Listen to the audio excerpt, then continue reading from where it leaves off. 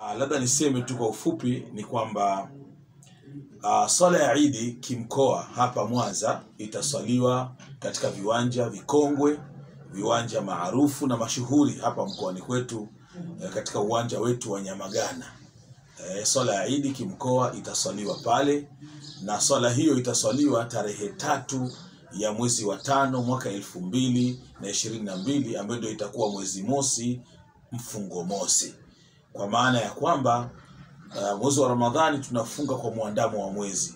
Kwa kuwa siku ishirini na tisa mwezi haukuonekana, Mufti na Shekhe Mkuu wa Tanzania ameelekeza kwamba tunakamilisha siku thelathini na tarehe tarehe tatu ya mwezi wa tano tutaswali swala ya Idi, na kimkoa swala ya Idi itaswaliwa pale Nyamagani.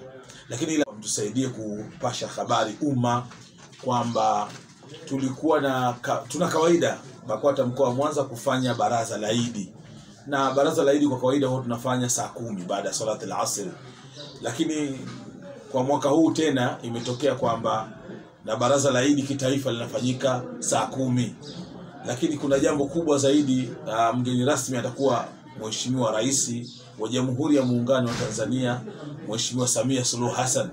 Mama yetu huyu atakuwa mgeni rasmi pale.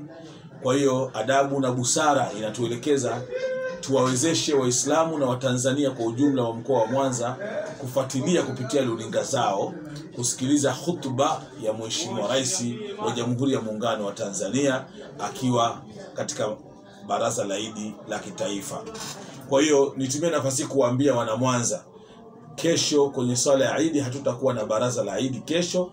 Badala yake sote tujielekeze kuwa na luninga zetu saa kumi kusikiliza baraza la Idi kitaifa. Itaswaliwa saa mbili na nusu kamili. Kwa hiyo tungewaomba sasa Waislamu na tunaswalia Nyamagana kwa sababu ya jiografia ya Mwanza, ili kila mtu atapotoka upande wowote iwe rahisi kwake kufika kwa usafiri rahisi.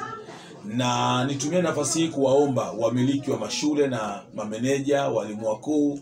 Kuna vijana wetu wa Kiislamu wako mashuleni, tuna vijana wetu wa Kiislamu wako vioni, hiyo hivyo vya chuo cha afya cha afya, mipango na kadhalika wawape ruhusa na ikiwezekana kuwasaidia usafiri kuwaleta Nyamagana jijini Mwanza hapa katikati ya mji kwa ajili ya swala ya Idi.